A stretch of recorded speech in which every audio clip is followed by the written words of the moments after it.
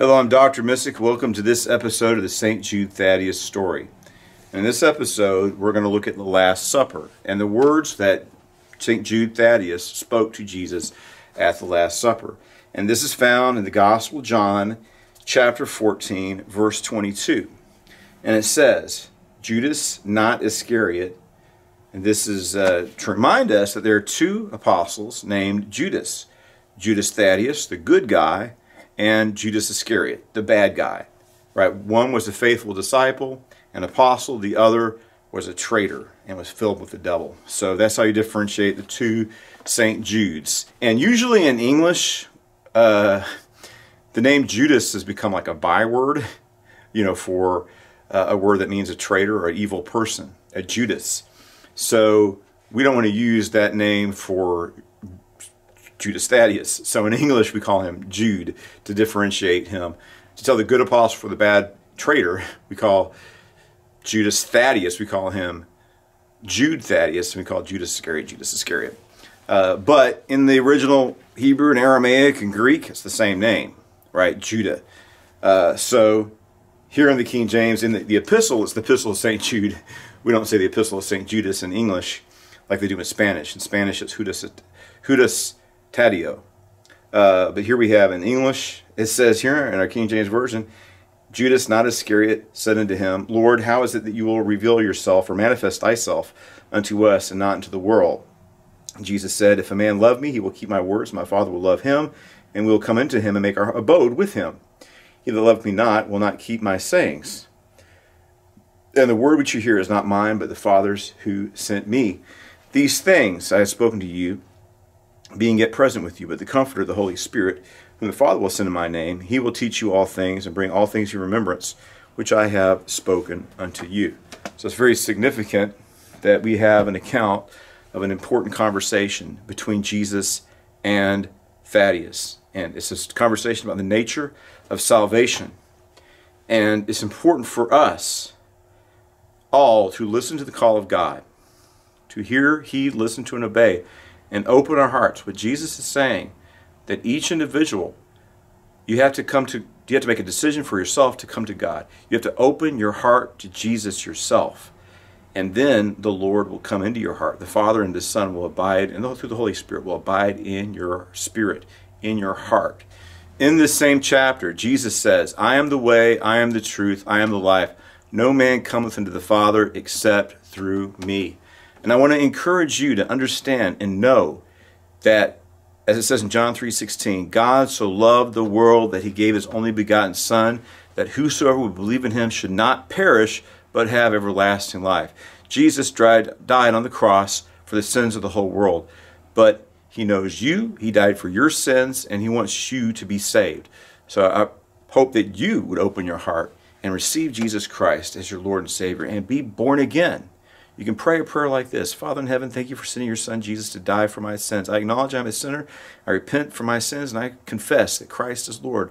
Because if we believe in our heart that Christ is Lord and, and know in our heart that God, He has risen from the dead, that we shall be saved. So we claim your promises and we lay hold of salvation. In the name of your Son, our Lord and Savior, Jesus Christ. We pray this in His holy name.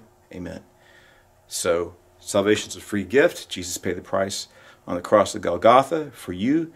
And my hope is that you would find life's meaning and, and purpose and live an abundant life through having a relationship with God through Jesus Christ, our Lord and Savior. So please stay tuned for upcoming programs to follow the life, the ministry of St. Jude Thaddeus, the apostle of the impossible.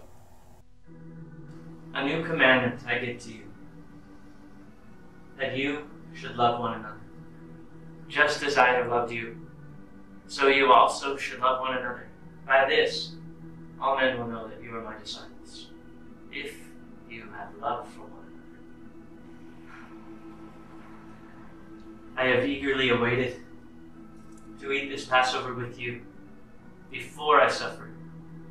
For I tell you, I shall not eat of it again until it finds fulfillment in the kingdom of heaven. Take this bread consume all of it. For it is my body, which has been broken.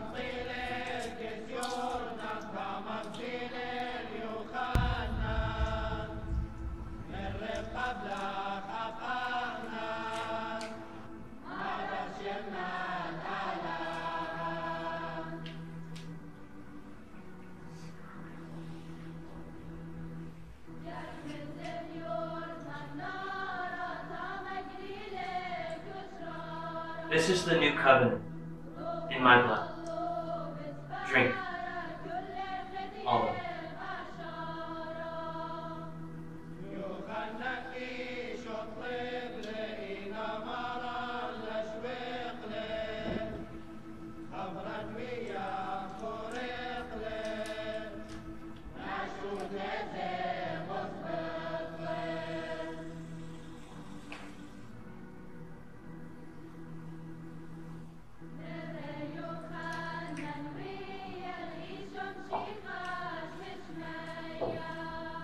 Do this in remembrance of me.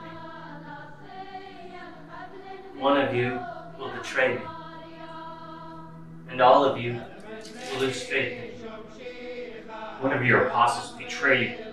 How could this be, Lord? Surely it's not I, is it? No. But all of you, even you, will lose faith. Even if everyone else denies you, I never will. I'm willing to die for you.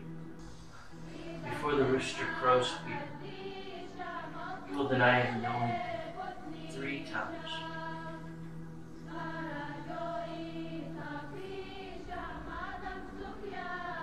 Do not let your hearts be troubled. You believe in God. Believe also in me. I go to prepare a place for you. And if I go to prepare a place for you, I will come back to you. Take you with me so that you may be where I am.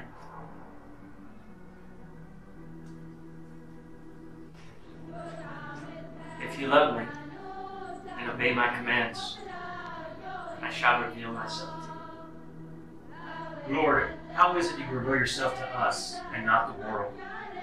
Those who love me will obey my commands. And my Father will love them. And we will come to them and make our home with them. What I say to you are the words of my Father. If you love me, keep my commandments, and I will pray to the Father, and he will send you another comforter, the Holy Spirit, that he may dwell with you forever. I will not leave you comfortless, I will come to you.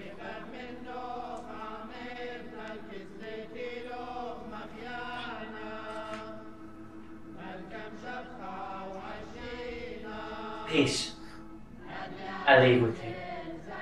My peace I give to you. I do not give as the world gives.